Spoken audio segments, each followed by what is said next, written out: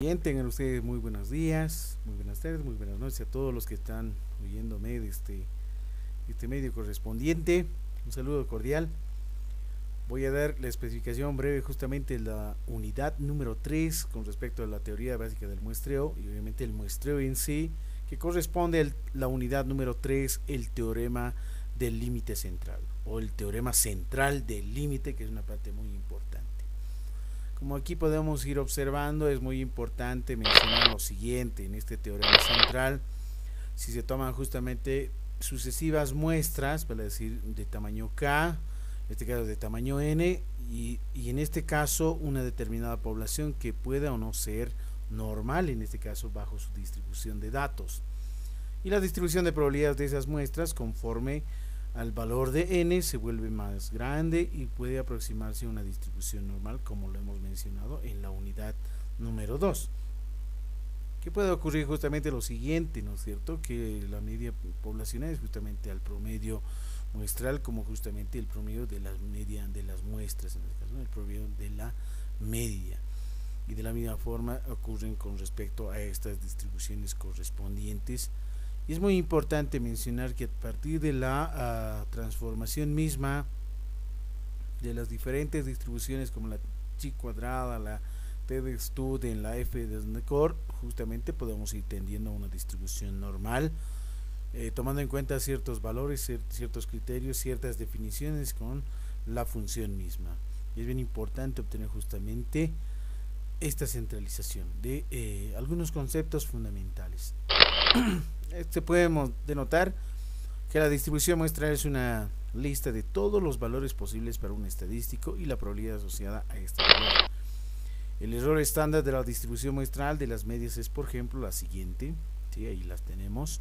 Son las tres propiedades fundamentales y elementales.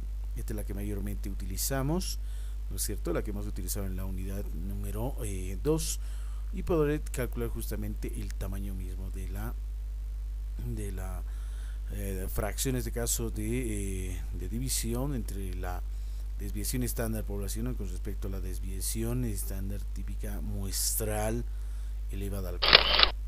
El factor de corrección para poblaciones finitas es esta justamente, donde n es el tamaño de la población y n es el tamaño de la muestra y tenemos con respecto a la varianza, las varianzas correspondientes a la población y la varianza correspondiente a una distribución muestral.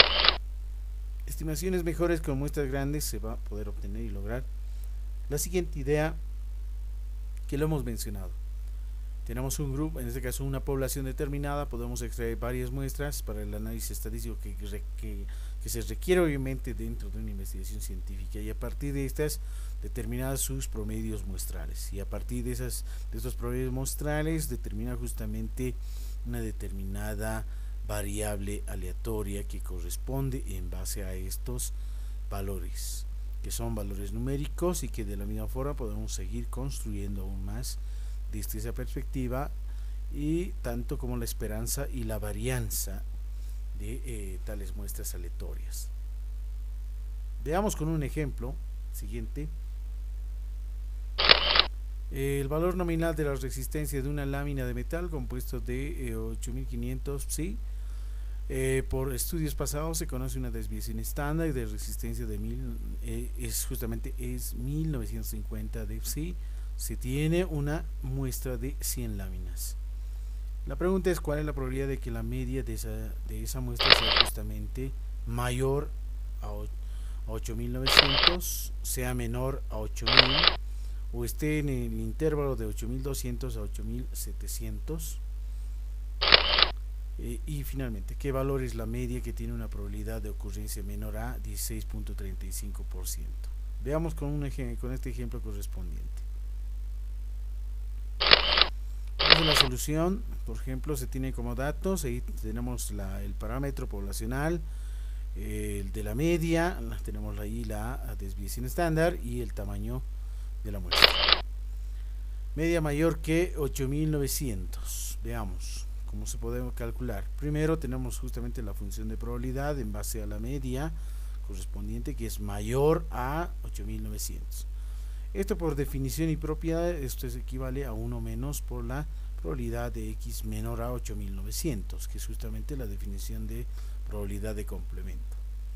Seguidamente, esta probabilidad justamente cuando x menor a 8, 8900 sigue una distribución correspondiente, en este caso la que se va observando justamente 1 menos por el tamaño mismo de la distribución normal, en este caso justamente estandarizada, va a decir la probabilidad normalizada, lo que realizamos es justamente aquí restar menos la, la, media poblacional que es 8500 y dividido obviamente entre la desviación estándar sobre la raíz cuadrada de n que es justamente la estandarizada a no olvidarse esta parte muy importante al respecto.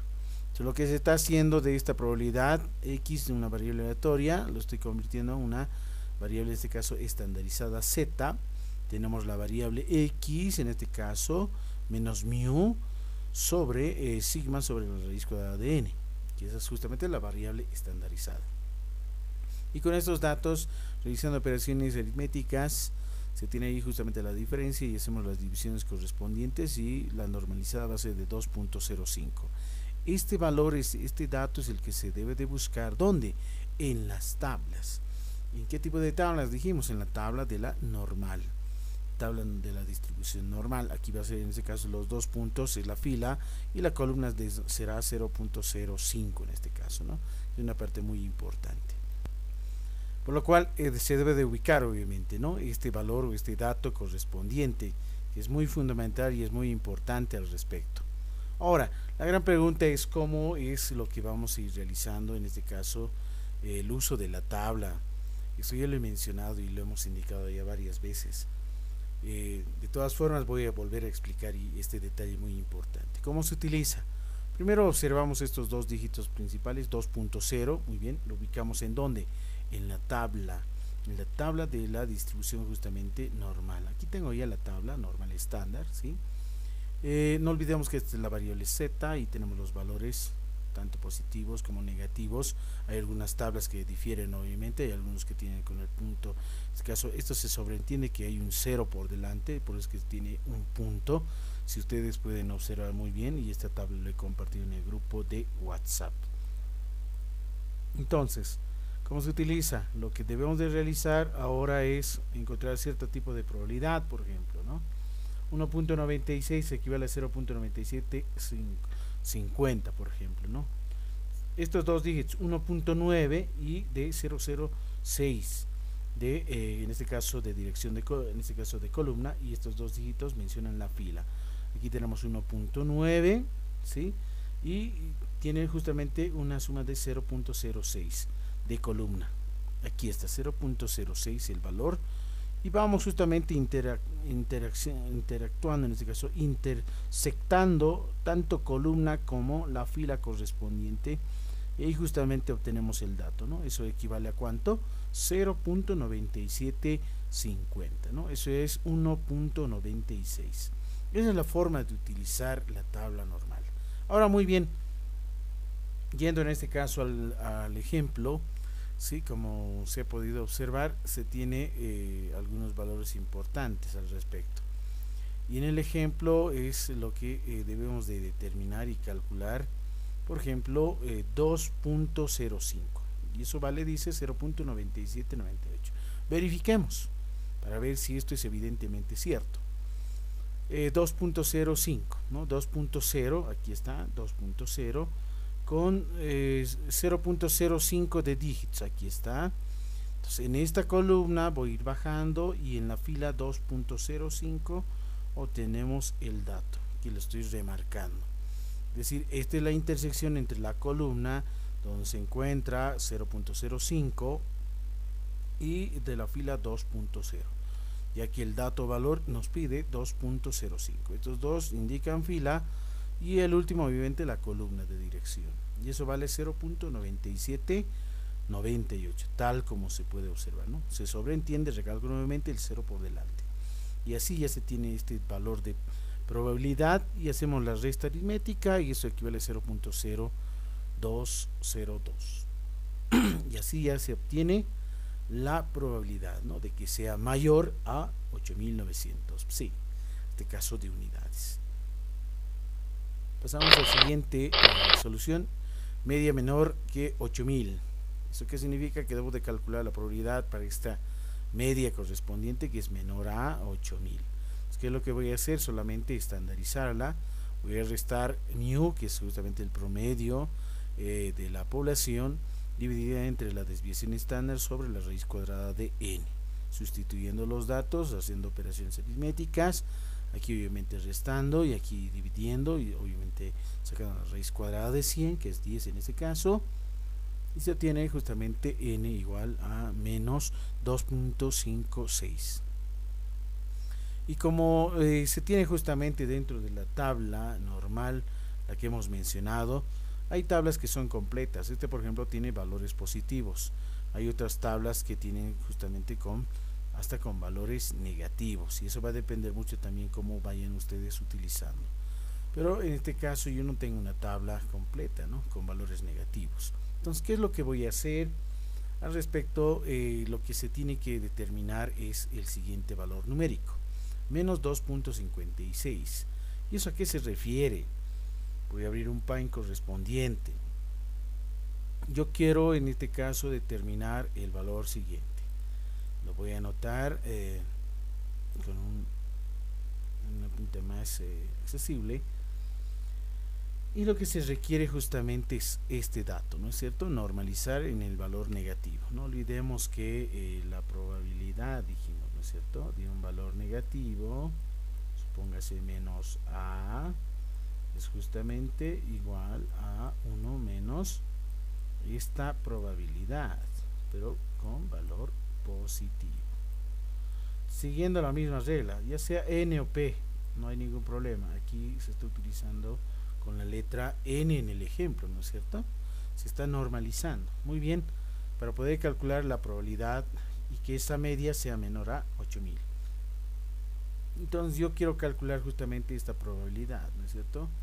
de menos 2 menciona punto 56 y eso aquí es igual por mi propiedad por la fórmula este de aquí que he mencionado a un principio que es justamente la propiedad de complemento de un valor negativo ¿sí? ahí obtenemos justamente 1 menos la probabilidad y ahora con valor positivo ¿no?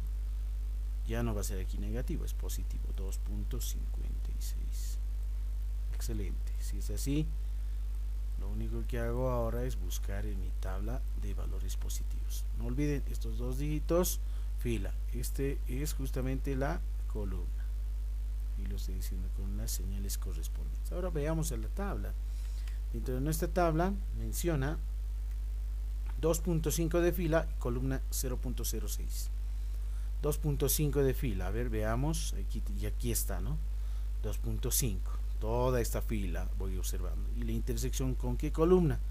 Con la columna, en este caso, 0.06, lo que nos está mencionando, el último dígito, ¿no?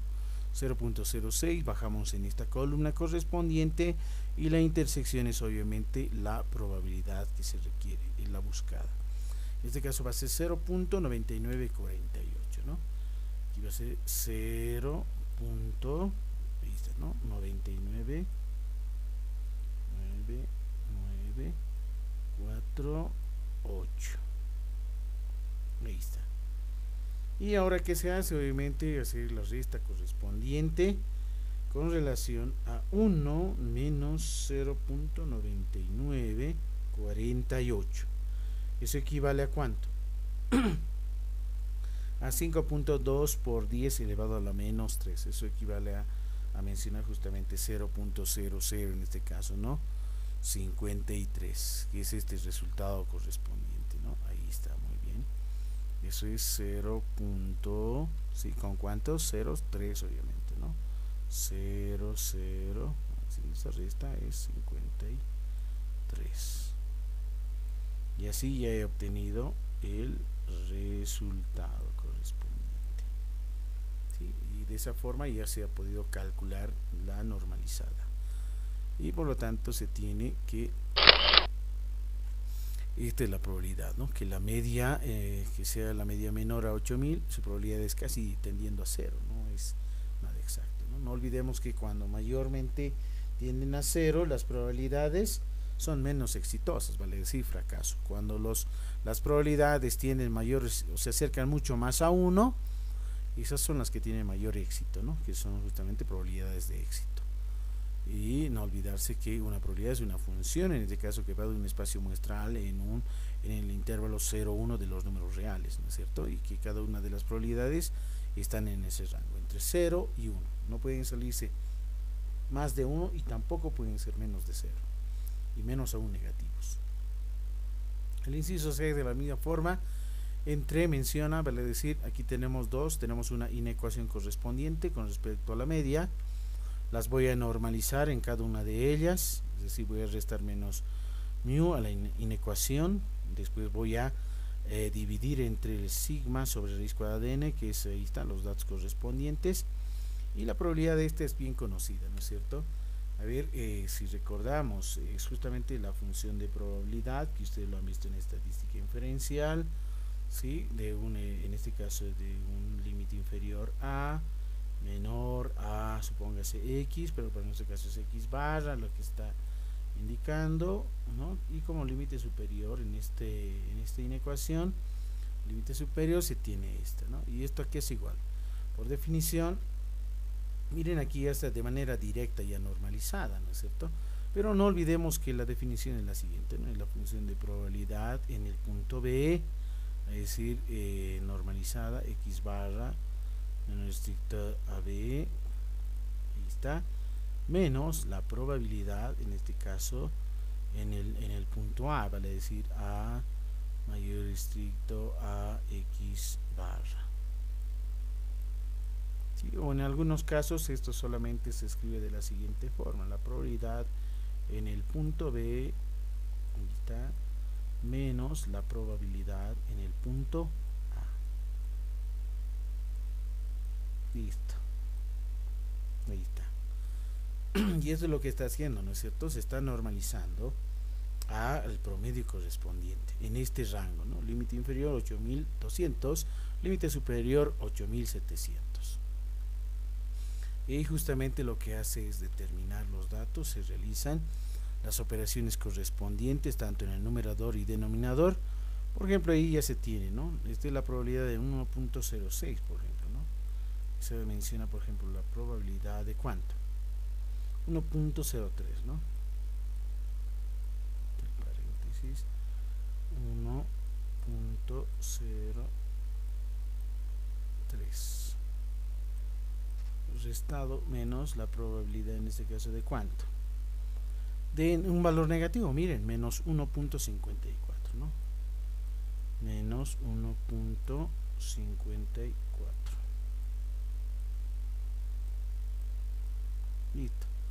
Y recuerdan para las probabilidades negativas, como no tengo en la tabla las que les he compartido, pues debo utilizar eh, la probabilidad de complemento, ¿no es cierto? Esta de aquí, ¿no? Esta de ahí.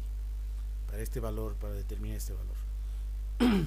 bueno, estos dos dígitos mencionan la fila y la tercera la columna. Estos dos dígitos mencionan la fila y la tercera obviamente la columna. Y obviamente aquí debo de restar uno menos esta cantidad en este caso, ¿no? Y fíjense, ahí está la operación correspondiente. Voy a agrandar un poco más. Esto aquí sería igual. Entonces voy a mi tabla 1.0 con 3 de columna, ¿no? 1.0 en este caso, ¿dónde se encuentra?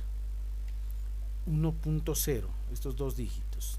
Muy bien, aquí está 1.0, fila, y la columna 003, ¿no? Esta es toda la fila de las oportunidades y lo que sí requiero es el 1390.03 de columna. Y se encuentra aquí intersectamos por lo tanto ahí el dato es 0.8485 aquí va a ser 0.84 85 muy bien. Y luego lo que voy a hacer es restar menos. Voy a abrir unas llaves o un paréntesis mejor se serán unas llavecitas. La probabilidad de este complemento negativo, fíjense, es 1 menos, ahí está, 1 menos. La probabilidad, pero ahora con signo positivo, imaginamos que es signo positivo, 1.5 de fila, aquí está 1.5, todos estos elementos son 1.5 de fila, y de eh, columna 0.04, que se encuentra aquí, 0.04, voy bajando, y la intersección obtengo 0.9382. 0.93 82 cierro las llaves o los corchetes o si ustedes desean pueden utilizar el paréntesis correspondiente ahora esto es solamente aritmética no es cierto por ejemplo cuánto es 1 menos esta parte de aquí 1 menos 0.9382 eso es 0.0 61.8 es decir yo voy a restar ahora 0.84 ahí está 85 muy bien menos cuánto. Haciendo esta diferencia obtengo y lo voy a remarcar de color rojito eso vale 0.0 618 618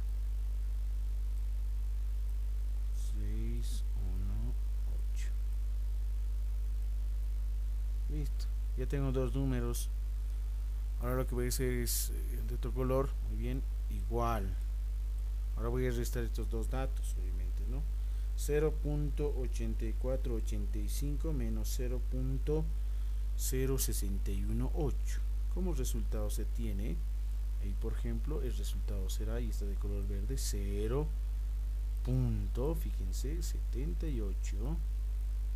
Es decir, la probabilidad es muy alta, ¿no? Más, mayor a 0.5. 0.7867. Y ahí está. Y esa es justamente eh, la que se ha calculado, ¿no?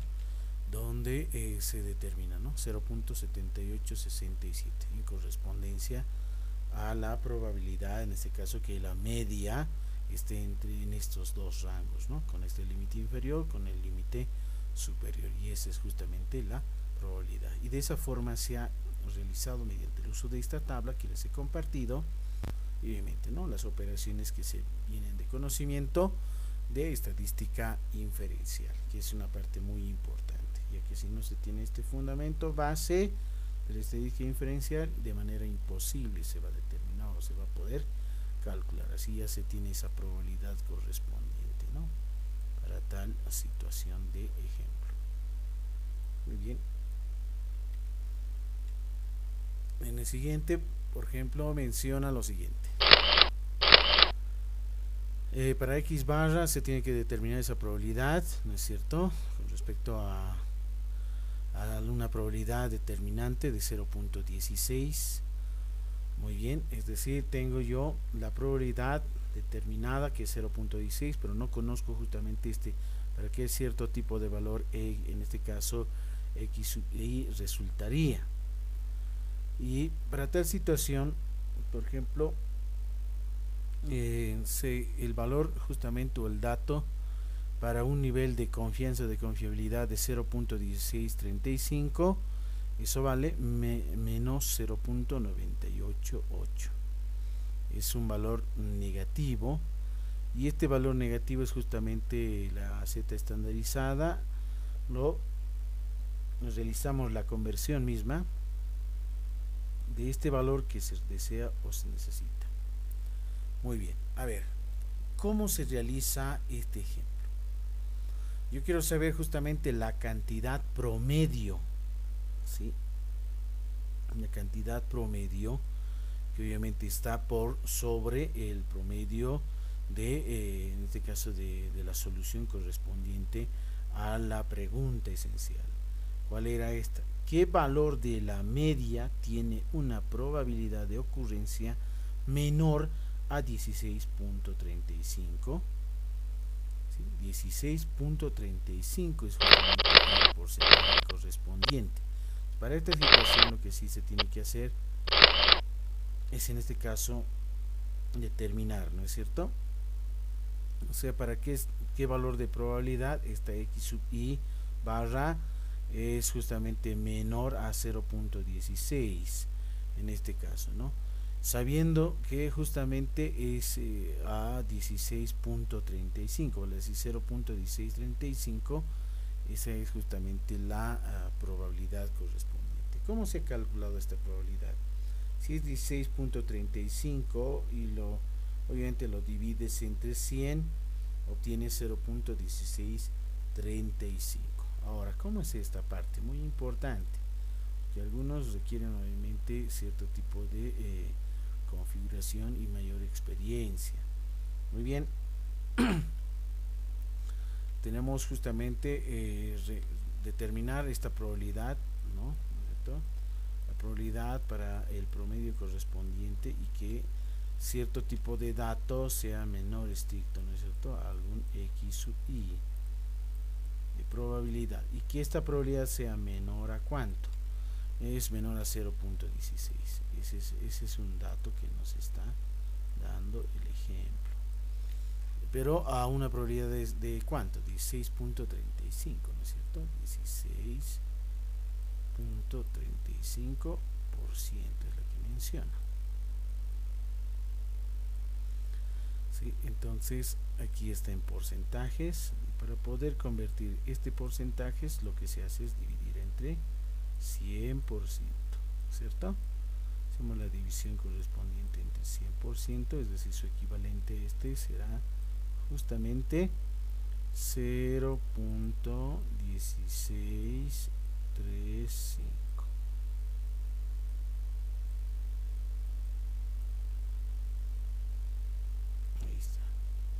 Y ese es el dato, el valor numérico en Z estandarizada.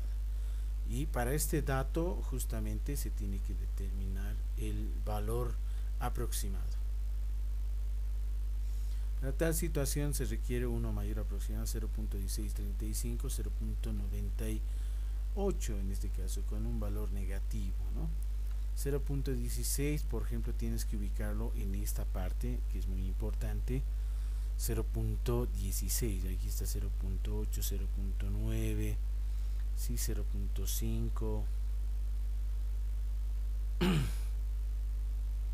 0.16 en este caso es un valor negativo. Entonces para tal situación se requiere obviamente un valor en este caso de probabilidad en este caso de eh, menos 0.98 y como es obviamente un valor negativo proviene justamente de, eh, de cierto tipo de variable, en este caso de tabla, que se requiere que en la fila menos 0.9 y la columna 0.08 correspondiente. ¿no? Entonces 0.9, a ver, aquí está 0.9, la fila y columna 8. Aquí está 0.08, es decir, en esta fila voy a poder encontrar un valor numérico. En las filas de 0.9 ahí está. En la columna en este caso 0.08 que es 0.8365 ¿sí? pero para tal situación eh, este dato es el que vamos a restar obviamente como va a ser un valor negativo 1 menos 0.82 ah, perdón 83.65 y eso vale cuánto cuánto creen que vale esa diferencia con esta probabilidad y es justamente la exacta no es decir 1 menos el valor de z de 0.98 ¿no es cierto? que equivale justamente a 0.8365 0.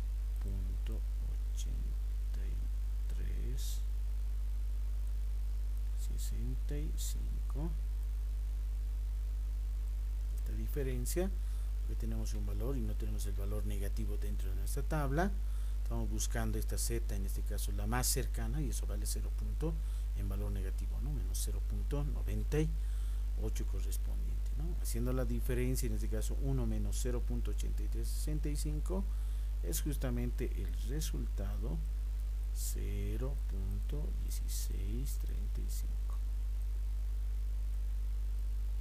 ahora muy bien si alguien tiene la tabla completa de valores negativos ubica de manera más directa obviamente no menos 0.9 de fila y columna 0.08 positivo en este caso no en la fila nada más no negativos de 0.9 vale decir en la tabla completa aquí van a estar con valores positivos con valores negativos no menos 0.1 menos 0.2 menos 0.3 y obviamente estas probabilidades van cambiando. Como yo no la tengo lo que estoy haciendo es calcular obviamente el inverso eh, en este caso de, eh, del dato de 0.1635 y eh, obviamente 0.8365 el dato inverso del complemento para poder obtener justamente esta misma ¿no? que es justamente el nivel Z se podría hacer ¿no?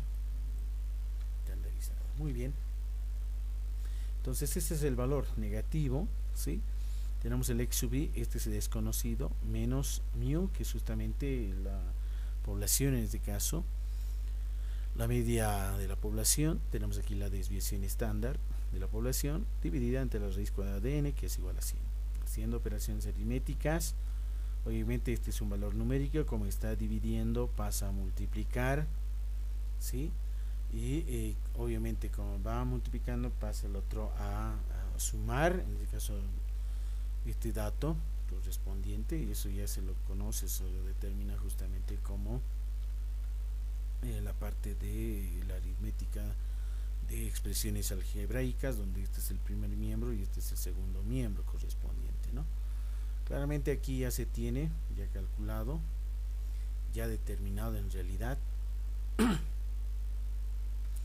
Por ejemplo eh, está mencionando lo siguiente menos 0.98 ser una parte de aquí menos 0.98 ahí está eso es igual a qué eso voy a multiplicar por cuánto eh, 19.50 ¿no es cierto? aquí lo van a notar 19.50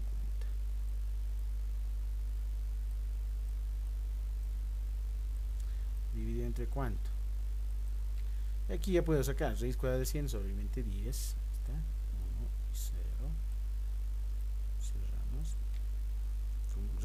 Esto está dividiendo, pasa a multiplicar. Y solamente me queda igual al valor x sub i. Que se quiere determinar. Menos cuánto? 8500.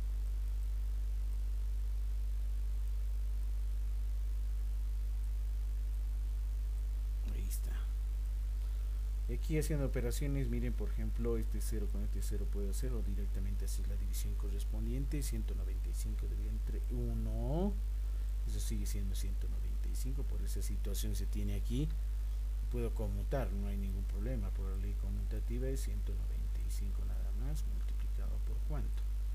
Y como es este valor negativo obviamente en la parte interna ¿no? 0.98 multiplicado. Y como este valor numérico está restando pasa el otro a sumar más 8500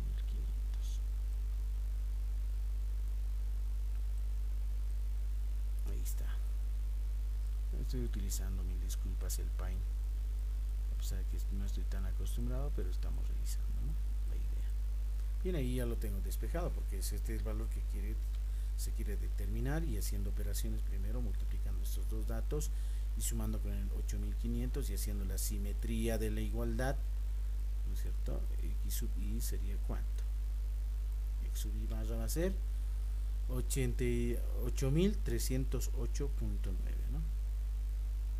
8308.9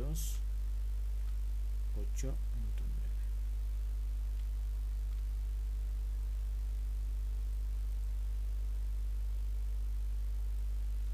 8308.9 rangos en este caso de las unidades psi pues, esta es solamente su unidad correspondiente ¿no? como mencionar en metros, centímetros decímetros, etcétera entonces de esa forma ya se ha calculado el dato correspondiente que se requería. Muy bien, ahí entonces eh, termina el ejemplo específico correspondiente. Y así las demás obviamente que se van realizando, ¿no? Con un cierto tipo de parametrizaciones y algunas que son las proporciones muestrales de la misma forma con proporciones, vale decir, con porcentajes, se tiene la misma estructura promedio porcentual, sumatoria de todos los porcentajes, entre K, la cantidad de muestras, y Z estandarizada será la proporción menos el valor pi sobre sigma, en este caso de la proporción misma. Entonces de esa forma también se va a ir construyendo algunos ejemplos de distribuciones proporcionales, en este caso con relación estándar, distribución muestral de proporciones, que es la primera fórmula. Tenemos el factor de corrección, por ejemplo, para poblaciones finitas y eh, algunos elementos como por ejemplo en base a cierto tipo de ejemplos.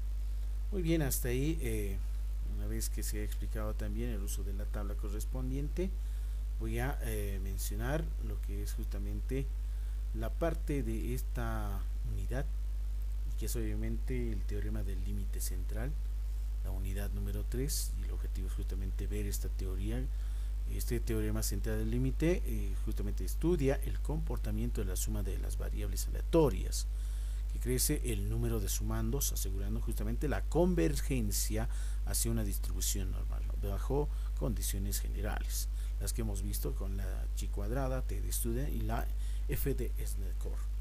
Es así que el teorema hace una exigencia muy importante de diferentes versiones. A lo largo de la historia se ha podido tener la aplicación de la estadística inferencial. Y más aún con respecto a lo que es la parte de las aproximaciones de las distribuciones discretas como la distribución binomial que es justamente la generalizada de la distribución Bernoulli Obviamente, en, en, en, este caso, pruebas Bernoulli corresponden a una distribución discreta binomial, la Poisson, la chi cuadrada de Student, la distribución gamma, entre otros, otras distribuciones, tanto discretas como también las continuas y sus parámetros correspondientes. Esta suma de variables aleatorias parece de forma natural en muchas aplicaciones, como por ejemplo en ingeniería, no solamente en la parte de ingeniería, sino también en la parte de métodos estadísticos con respecto al crecimiento poblacional, dentro del área de salud, por ejemplo, el crecimiento de bacterias correspondientes que, que tienen justamente cierto tipo de distribución convergente a una normal en, este caso. Y es bien importante tomar en cuenta la relación entre sí de estos conceptos básicos y es bien fundamental este trabajo de analizar el teorema del límite central que se puede ver en varios textos o libros de probabilidad estadística, no solamente para ingenieros, sino para administradores, para economistas, para educadores, y eso depende ya también desde este una perspectiva más, eh, de un ámbito más amplio. Es así que eh, se toman en cuenta también eh, las matemáticas, obviamente desde el análisis de estos textos con relación a un teorema, y no olvidemos que un teorema es una proposición que se requiere ser demostrada, y obviamente el teorema para eh, el teorema central del límite tiene que ser demostrado obviamente en base a definiciones conceptuales matemáticas y obviamente utilizando los acciones correspondientes. El teorema es uno, en este caso central del límite, es uno de los resultados fundamentales de la estadística hasta hoy en la actualidad, justamente para el estudio de la teoría de los grandes números. Este teorema nos dice si una muestra es lo bastante, lo bastante grande, generalmente cuando el tamaño de la muestra supera los 30 sujetos o muestras, objetos, de los cuales se distribuye en una media muestral que se aproxima justamente a una distribución normal estandarizada. Es un caso muy importante la distribución binomial, por ejemplo, un caso muy concreto para una distribución discreta, la binomial, que es justamente la generalización de la distribución Bernoulli con probabilidades de éxito y fracaso. Probabilidad de éxito igual a 1 y fracaso igual a 0. Y a partir de 30, justamente la cantidad de tamaño de la muestra, la distribución binomial se comporta estadísticamente como una normal. Entonces, estas distribuciones se pueden justamente modelizar. Alguien se puede realizar una tesis de maestría en cómo estas distribuciones podríamos ir tendiendo justamente normalizando tanto las distribuciones discretas como continuas tienden, convergen a una distribución normal. Se tendría que ver justamente el modelo matemático correspondiente para eh, tal situación específica que sería una buena tesis de maestría. De la misma forma se encuentra ahí el teorema del límite central con respecto a las distribuciones binomial, la ecuación y cómo poder justamente la, la ah, en este caso la convergencia a una distribución normal en base a cierto tipo de parámetros con respecto a la esperanza y a la varianza correspondencia o en este caso eh, con respecto a la media poblacional y la ah, sigma que es justamente la desviación estándar. Entonces el teorema del límite central concierne en lo siguiente. Tienes n variables aleatorias continuas, independientes, igualmente distribuidas con media y varianza finitas. Ahí está su media de x sub j, ¿sí? que la sumatoria, es decir, la media correspondiente. Vamos a sacar de esta sumatoria correspondiente de todas las x sub y vamos a utilizar una variable z estandarizada donde m sub y es la esperanza matemática de este conjunto de datos de la sumatoria y la varianza es justamente eh, de la variable sumatoria, es decir, lo que hacemos es sumar todas las variables aleatorias continuas. Entonces, independientemente, la distribución de las variables se verifica con base a un límite de una función de densidad, de probabilidad en z, que es justamente 1 sobre 2pi por la exponencial menos z cuadrado sobre 2 en este rango de intervalo. La importancia de esto es iniciar justamente con esperanza y varianza igual a 0. Eh, perdón, esperanza matemática igual a 0 y la varianza igual a 1. Calculando su función característica de la variable aleatoria z, obviamente con respecto a la función de la exponencial, se obtiene en esta estructura misma, obviamente con, recordando que y sub n es justamente la sumatoria de todas las variables aleatorias, y determinamos su esperanza por definiciones n por eh, la media correspondiente y las variables ya que son todas independientes por lo, menos, por lo tanto la varianza de esta variable de sumatoria de variables aleatorias es n por la varianza de x. Y desde ahí en el operador que se ha podido construir se van sustituyendo algunos datos correspondientes equivalentes a la sumatoria de la productoria correspondiente por ser justamente una eh, convención matemática esencial. Y las variables xj son independientes entre sí y además todas estas tienen una misma función de densidad, lo cual significa que este valor justamente, la función de densidad c sub z, se obtiene justamente como una equivalencia, vale decir que este dato lo voy a denotar w, eh, voy a comprimirlo, ¿sí? lo estoy mencionando, lo estoy denominando w, ahí está x menos n sub x por eh, la desviación estándar siendo x cualquiera de las variables x sub j. Entonces esta se puede escribir de esta forma más estructurada. Y a partir de esto voy desarrollando justamente esta exponencial que es bien conocida en la parte de los números complejos y obviamente la estructura de una serie de Taylor alrededor de un punto inicial cero. Esta es la bien conocida la serie de Taylor es muy importante también para el conocimiento de cada uno de ustedes en poder realizar las convergencias correspondientes a ciertas demostraciones. Y esto justamente se van observando, por ejemplo, con la esperanza matemática igual a 0, es decir, su promedio igual a 0 y teniendo la varianza igual a 1. Y se obtiene obviamente a partir de esta función de equivalencia esta serie correspondiente. Y esta serie simplemente va a ser esta con relación a las series de Taylor. De esta forma entonces ya se tiene la función de densidad eh, algo más concreta, más sencilla y a partir de esta lo que se requiere es tender el límite de esta función r sub n en 0 cuando n tiende al infinito aplicando límites a esta igualdad de esta ecuación correspondiente se obtiene justamente r sub n que es igual al límite de la exponencial en cada uno de los y lo que sí lo que se está realizando es justamente la división correspondiente ¿no? esa división correspondiente en relación a la aplicación ¿no? de LOEB por ejemplo es el ejemplo que se está denotando que el límite de, este, de, de esta esperanza de la fracción en este caso y sub al cubo por la s al cubo que son justamente los momentos en este caso estadísticos en el que se tiende igual a cero y por consiguiente este límite corresponde simplemente a ser por ejemplo estos dos elementos fundamentales tienden a ser exponencial elevada a la menos s cuadrado que es justamente la varianza muestral sobre 2 y para eso obviamente se requiere un poco más de conocimiento de límites y algunas propiedades mayormente los límites hacia el infinito por sobre todo ¿no? y es así que se obtiene la función de densidad f sub x 1 sobre 2pi de la integral de menos infinito a más infinito de la exponencial ya conocida la que se tiene la misma estructura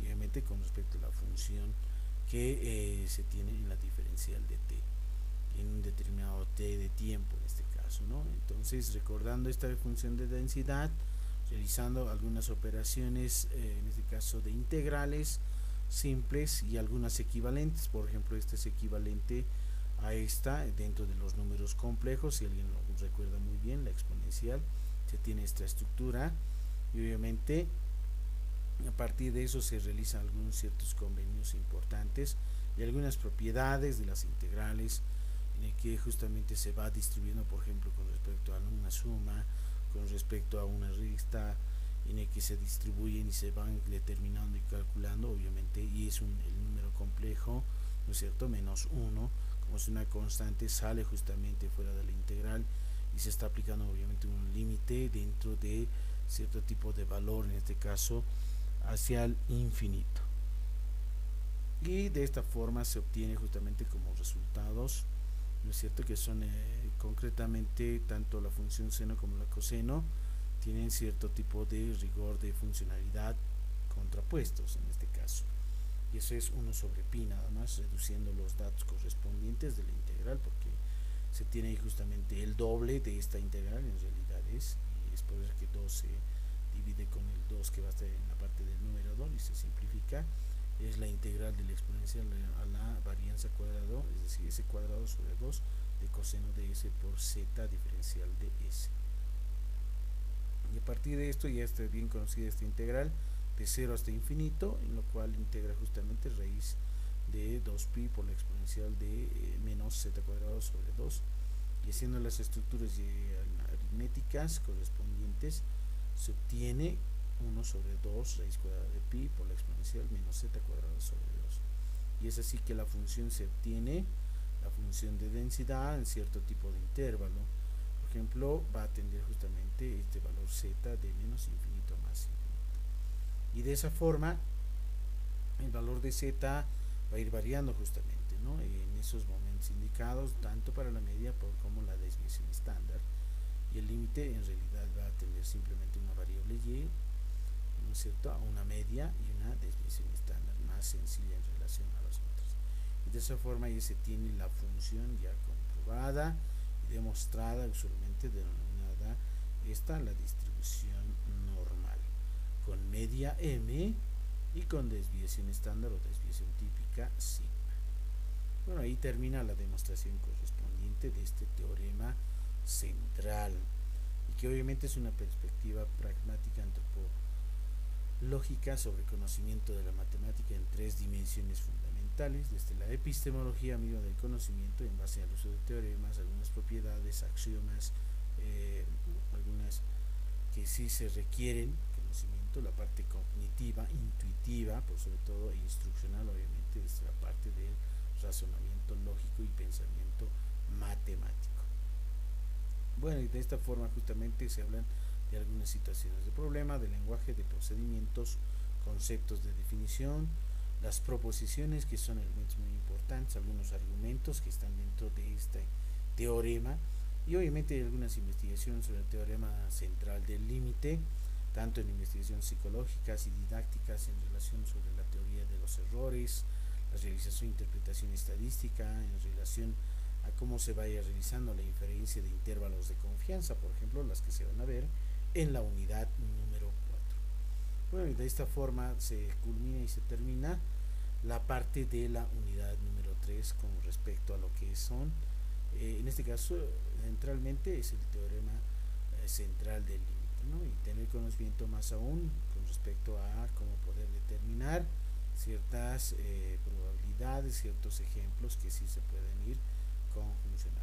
Y es así que se revelan justamente algunas versiones más aún desarrolladas, como por ejemplo los de Moivre, Laplace, Poisson, Dirichlet, Bessel, Chebyshev, Markov, Lyapunov y Ferrell y entre otros, ¿no? Para resolver diferentes campos de las distintas áreas, tanto en matemática, en medicina, en educación, en economía, en administración. la parte fundamental es tener justamente esa parte cognitiva esencial. Y obviamente de realizar esa teoría de estimación por intervalos, las que mayormente se van a ver en la unidad número 4. Y más aún contraste de hipótesis, que me imagino que lo han visto en dosimacia de hipótesis dentro de la estadística inferencial.